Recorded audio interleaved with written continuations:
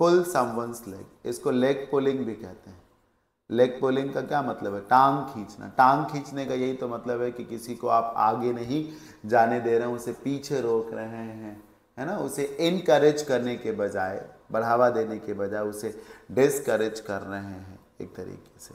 या टांग खींचने का मतलब होता है कि एक तरीके से किसी से मौज ले रहे हैं, किसी से मज़ाक कर रहे हैं टीज कर रहे हैं, चिढ़ा रहे हैं एक तरीके से।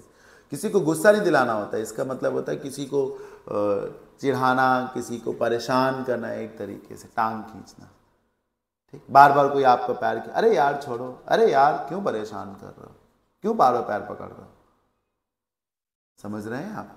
तो to teach to tease someone I am sorry किसी को चिढ़ाना, इस तरीके से, मौज लेना।